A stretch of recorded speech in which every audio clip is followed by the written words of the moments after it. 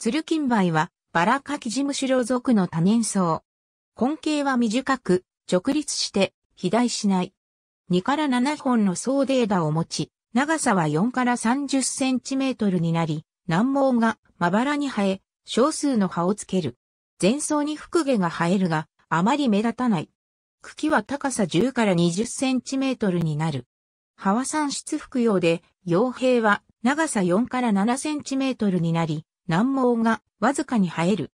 商用は、皮脂状卵形で、長さ1から4センチメートル、幅1から3センチメートル、先は A 頭から単 A 特化しら、基部はくさび型になり、商用兵はない。商用の円には、やや深く鋭い巨子があり、両面には南毛が生える。葉は、稀に産出服用の株に1から2個の小さな小葉をつけて、右上服用となることがある。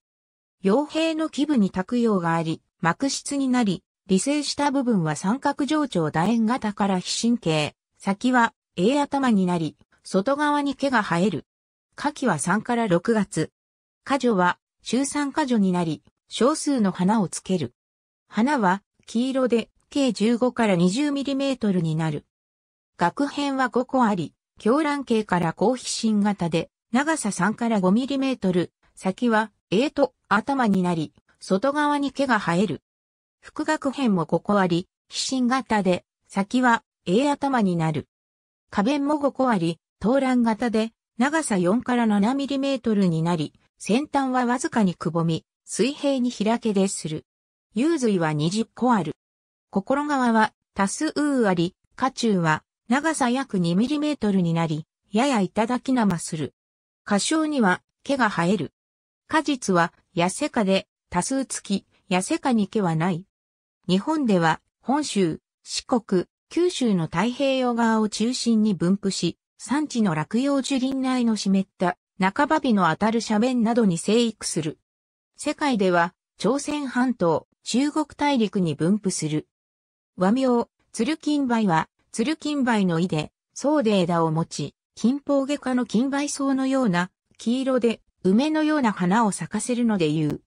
本種は、1900年に採集された標本をもとに、牧野富太郎が1910年に、植物学雑誌にポテンティラ抑災穴牧野として、新種記載し、長い間この名前が使われてきた。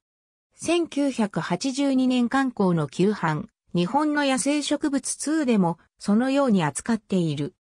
一方、フランス人植物学者のエクトル・レベイエは、朝鮮半島でフランス人宣教師のフォーリー神父が採集した標本をもとに、1909年にキジムシロ属の新種として、ポテンティラ・ロッセリフィラ HLEV を記載発表した。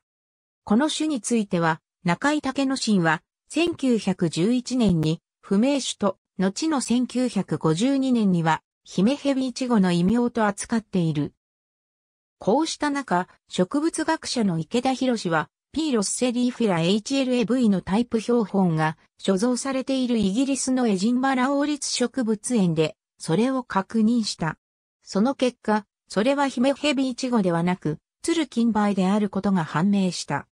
牧野が発表した P 抑サイアナより、エクトル・レベイエが発表した P ロッセリーフィラの方が1年早く、国際植物命名規約の規定により優先権があることになる。